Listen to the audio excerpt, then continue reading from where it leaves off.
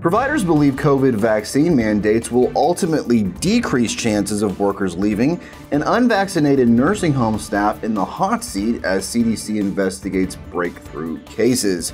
This and more next.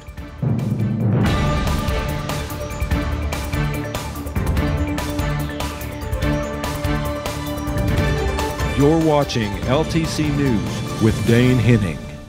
Welcome to CNA TV Long Term Care News. I'm Dane Henning. Today is Wednesday, July 28th, 2021. To stay in the know of long term care news, be sure to like, comment, and subscribe to our YouTube channel.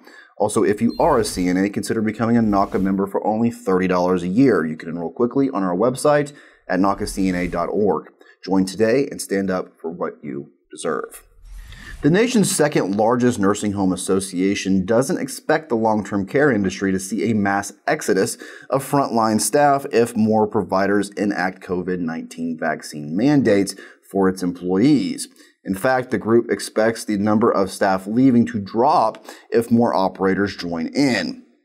Quote, some of our members have already mandated vaccines as a condition of employment, Katie Smith Sloan, Leading Age's president and CEO, said on Monday. Based on their experience, we've seen that when employers issue a mandate with sufficient lead time combined with education, answering questions about the vaccine and explaining the benefits, many hesitant employees will accelerate their decision to get the vaccine.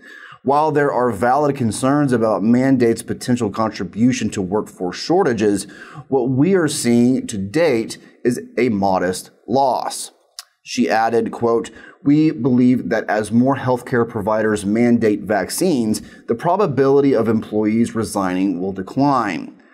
Sloan's comments came after Leading Age announced its support for a COVID 19 vaccine mandate for all healthcare staff, joining more than 50 other professional healthcare groups.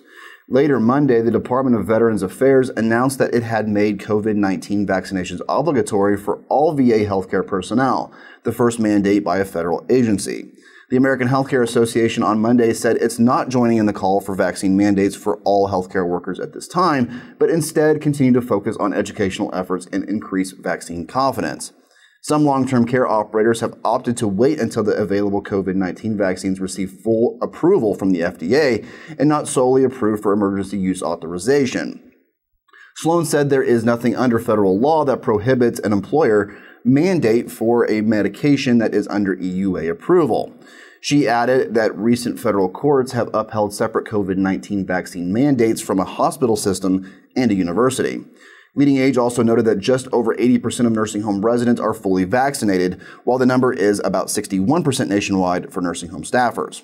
Sloan said from its member experiences, education and persuasion has been the best tools to increase staff vaccination rates. Several Colorado senior care facilities are at the center of a CDC investigation, and public health officials there are zeroing in on unvaccinated staff as the cause of breakthrough cases. At an unnamed memory care facility in the Grand Junction area, 16 fully vaccinated residents were infected and four died, according to the CDC information reported by the Associated Press last Thursday. The investigation, which started in May, underscores concerns among public health officials in Colorado and beyond that the protection afforded nursing home residents and other seniors through vaccines is now at risk because of non vaccinated individuals. Mesa County, home to Grand Junction, is a hotspot for the Delta variant, which has spurred COVID 19 case increases in all 50 states and triggered the deployment of federal surge teams.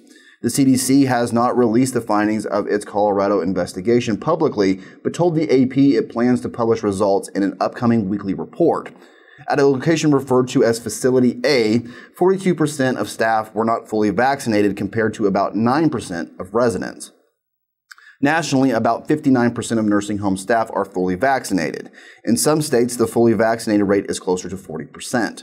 In Colorado, the CDC found a COVID 19 infection rate of 30% among vaccinated residents and staff at the facility, with residents accounting for the vast majority of cases. Of 16 fully vaccinated residents infected at the memory care facility, the CDC found that 13 developed symptoms described as mild in most cases, according to the Wire service. The four deceased residents were in hospice care and had a median age of 93. This has been your long term care news update. Everyone, have a wonderful week, and I'll see you on Wednesday.